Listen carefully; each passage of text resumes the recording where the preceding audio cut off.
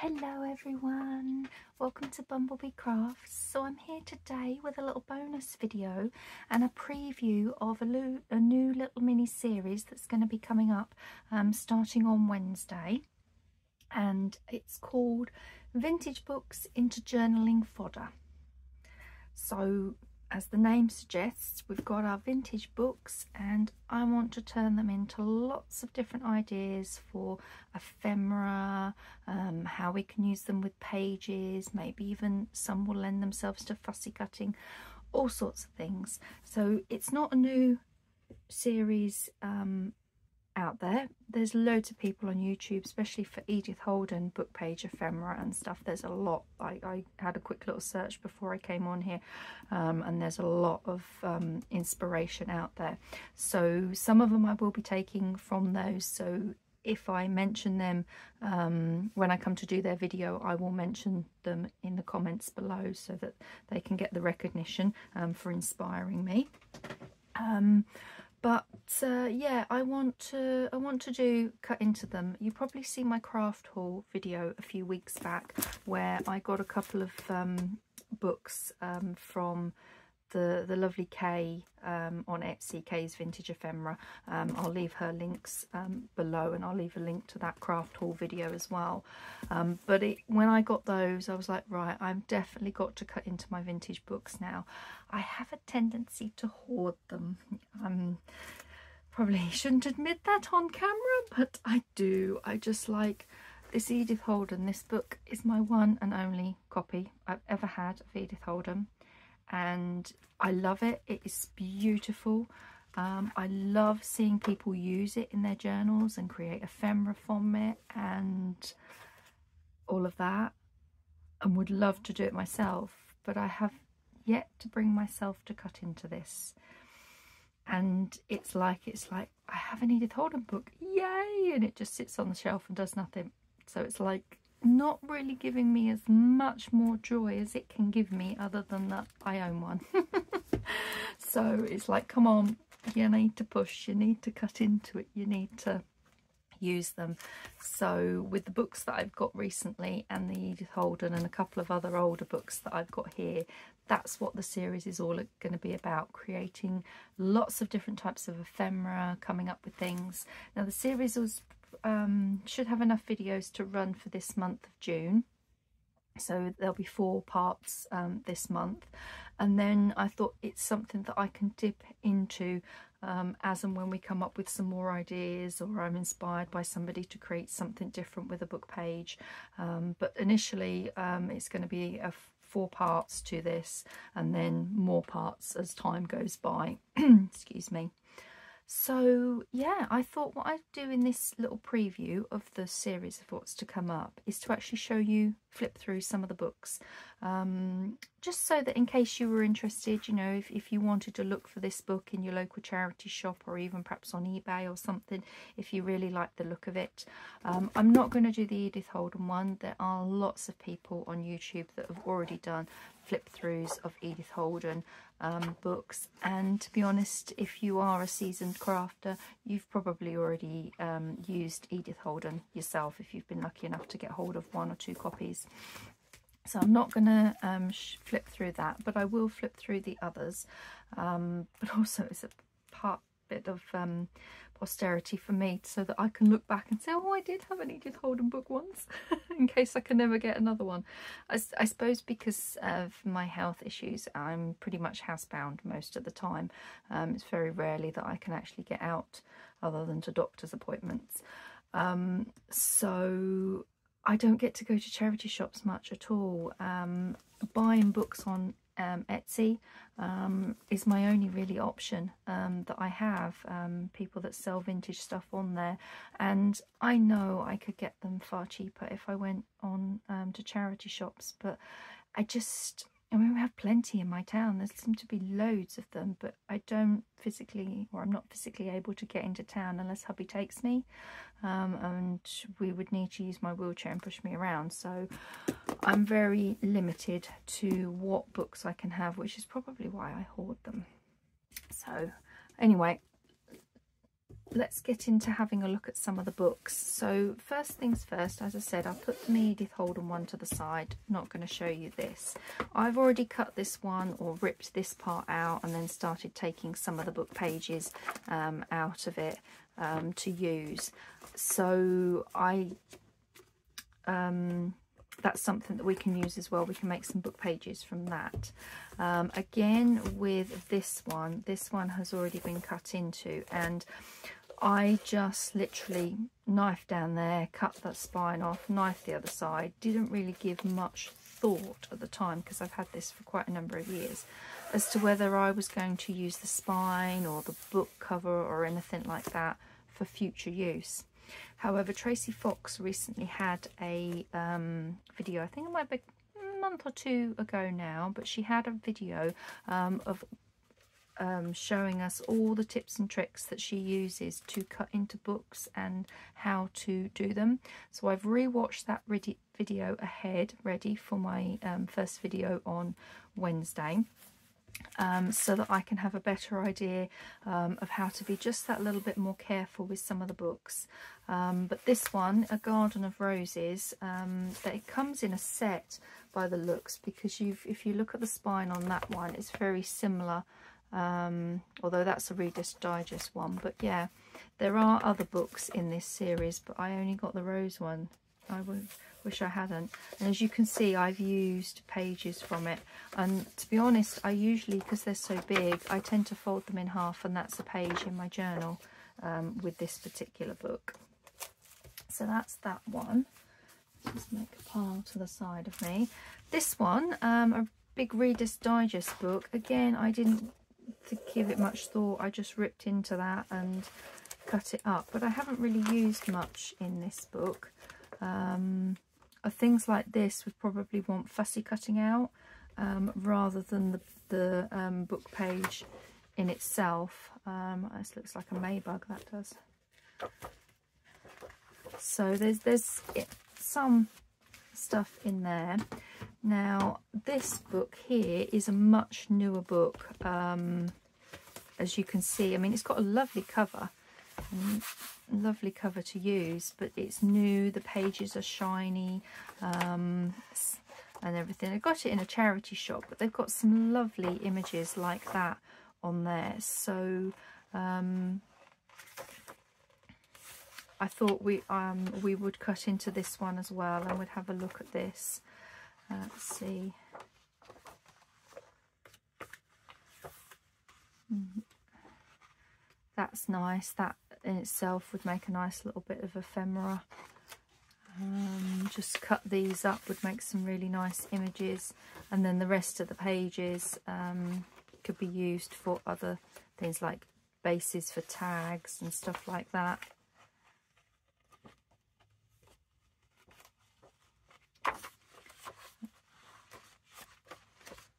That, that's really nice. That would be nice, sort of kind of giving a little fussy cut edge too. So yeah, I just flipped through quickly in the charity shop and see these wonderful images and just thought, oh, they would make nice little ephemera and then just never did anything with it because that was, I mean, I've had this book probably four or five years now. so it shows you that's how long it's been since I've been to a charity shop. Again, another little square piece of um, um, little fussy cut that would work. So that's this book here, which is Choose, or Choose, Consider England. I like the cover. I do like that going all the way around. That's nice. And then obviously these two books that I got um, from Kay's Vintage. And I've also got this book. Now this one came from the Vintage Craft Cave. She's on Etsy. She does vintage sales on Etsy. And I love this book. Um, again, I've had it probably for a couple of years, but just not used it. And it's got lovely big writing. That would make some wonderful um, ephemera pieces. So if we skip through some of the writing and get to the main bit. Yeah, that's just writing. I mean, look at that. That lovely, lovely image there. Oh, you could do all sorts of things with that but this is how it's laid out. Look at that. That is just going to be so perfect for either little journaling cards um, or you could um, make a like a nice tool tag and still keep this information on there. If you did it like you made some pockets so that this was one side that was the other side. I just thought it was wonderful how it was all laid out and it's like this all the way through for all the different flowers. And then you get um, like a little each section has one of these page um, lovely pages illustrated pages on there. It's just so so lovely. That I mean I could fussy cut some of these as well. I thought I thought about that because I thought well I don't want to do the entire book as um, tags um, from them but uh, something maybe a bit bigger like this um, musk mallow. Is that in camera? Yeah it's in camera. You know I could fussy cut around that um, that sort of thing. And then those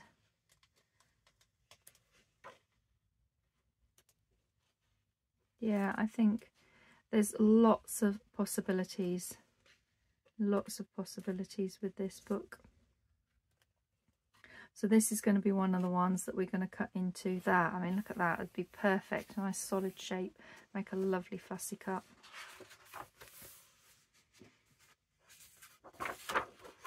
What's the front page of uh, that section? Water and waterside. Nice. I can just see that coloured in in some pens and some pencils or maybe even some watercolour. Maybe that's something that we could do with one of those, bring in some mixed media elements. That would be quite nice on there, wouldn't it?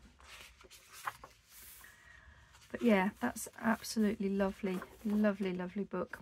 So that's one that we're going to do, and that's the Illustrated Encyclopedia of Wild Flowers. Um, it's a Chancellor Press one. There we go, if anybody wants to uh, find this particular book. It's a big, thick book, very heavy. Okay, so that's that one. So these were the two my most recent purchases.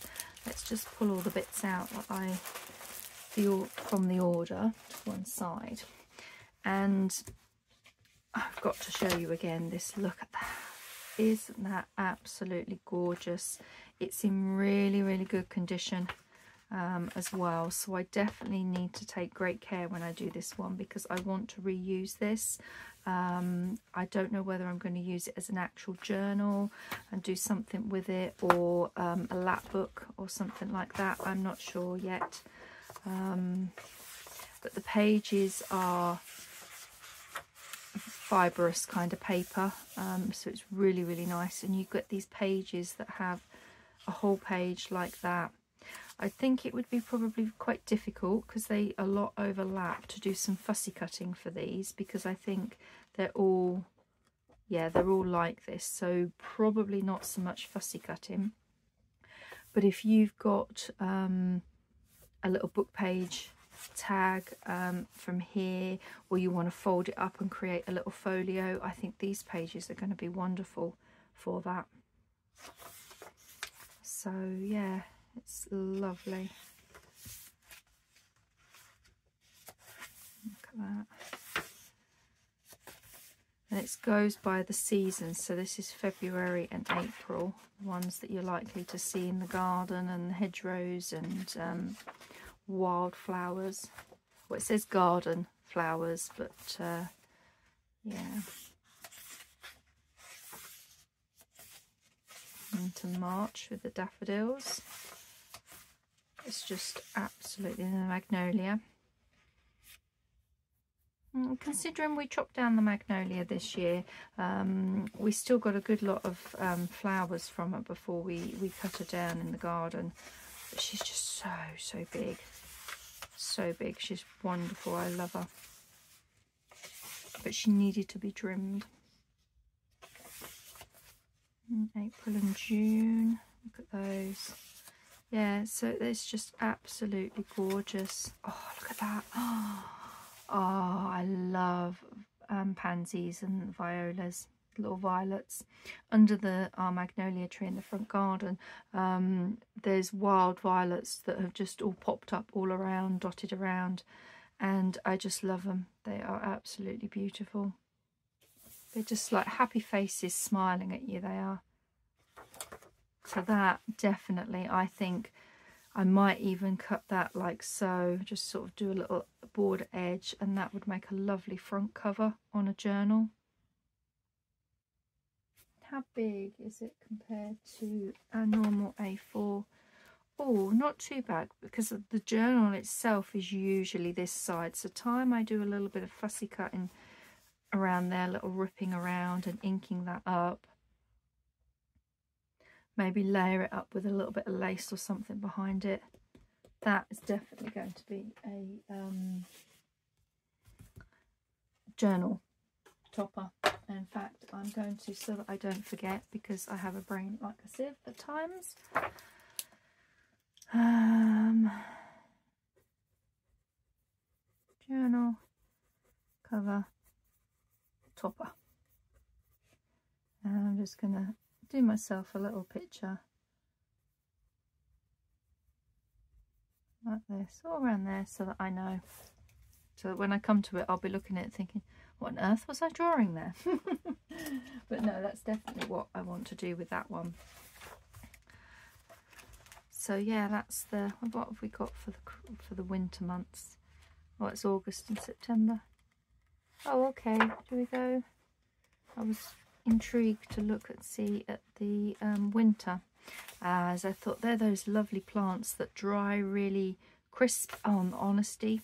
I do like them. Excuse me.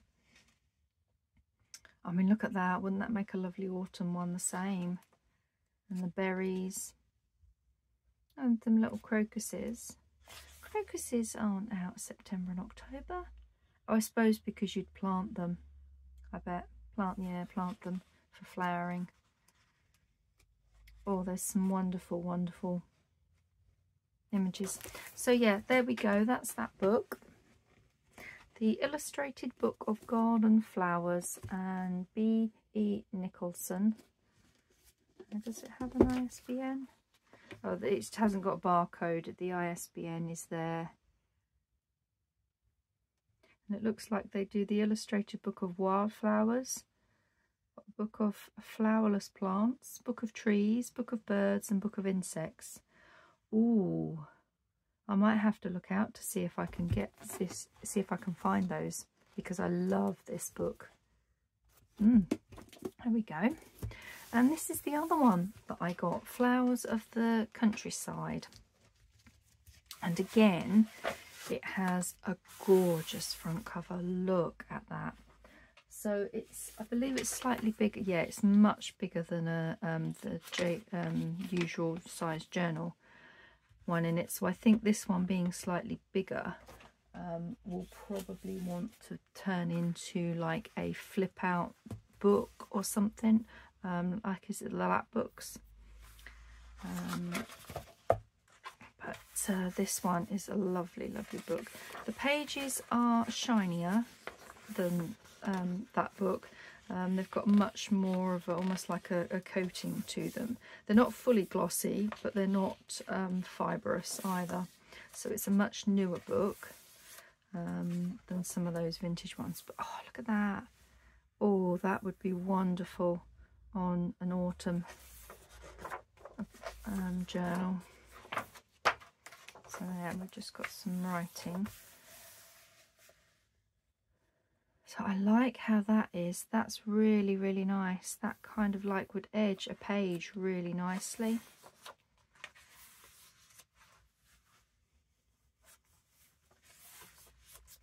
Just took you through the... Oh, look at that one. Oh, the pinks and the purples.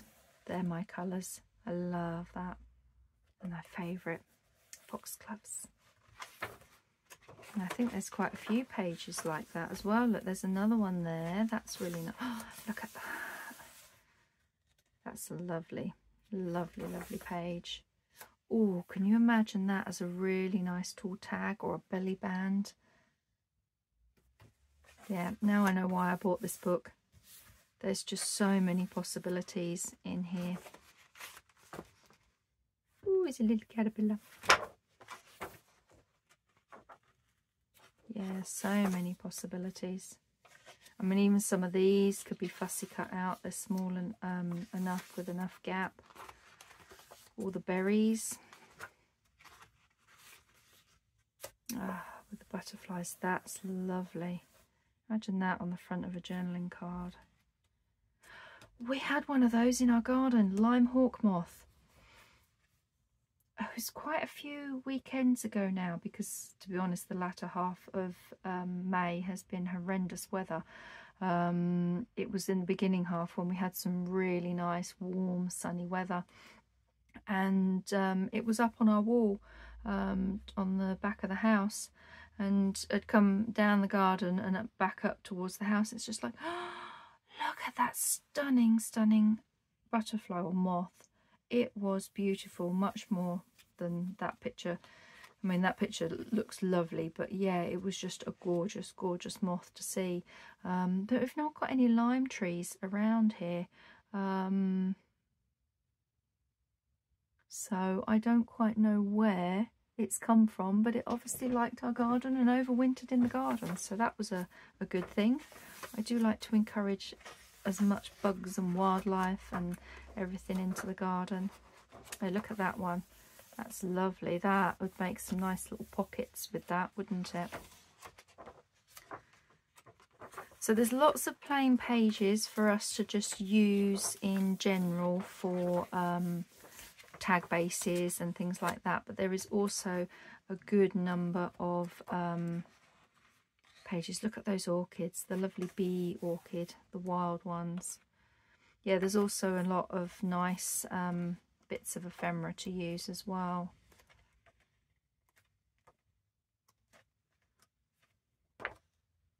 Ah, we get those in the garden. Rose bay, willow herb. Ah, so we get those rose bay. They can, Anton calls them weeds. My hubby calls them weeds. I don't. They are beautiful wildflowers. I'm more than happy to have weeds, as most people would know them, growing in my garden because the amount of wildlife that that attracts is amazing. Look at that. I love the old-fashioned dog roses because they're just perfect for insects and bees. Oh, and the poppies. Oh, I like how that is with this um, sketched one behind it. That's really nice. I, that is going to... Oh, I'd probably have to maybe chop it off there to put it as a page in the journal. But even so, if you did that, you, you could still use that for something. Look at that. So yes, this is an absolutely beautiful, beautiful book.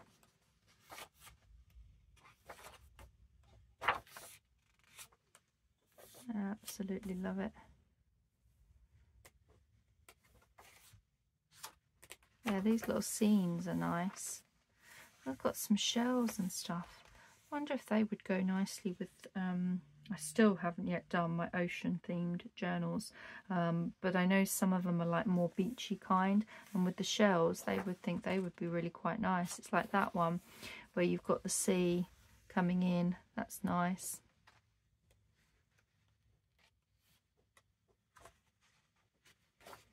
Oh, there's some old photos there. Oh, they would be really quite nice, wouldn't they? Cut them out individually as bits of ephemera, stick them on. I think Tracy Fox has got a kit where um, you can make your own um, faux slides, um, photo slides. Wonder how that would fit in if she gives you the background pieces. Oh, I like those. That's an idea and someone's handwritten sketch and drawings. That's nice. I like that. Oh, look at that page. I've not seen any of... Have we got any other coloured pages? No, we haven't got any other coloured pages in here. No. How, how strange. That's the only coloured page. Perhaps it's because it needed to be the white. And, but that's lovely, isn't it? I do like that. I know it's only bindweed and that I do call a weed. That is a, a nuisance um, in the garden. I don't mind it if it's scrabbling through a little hedge.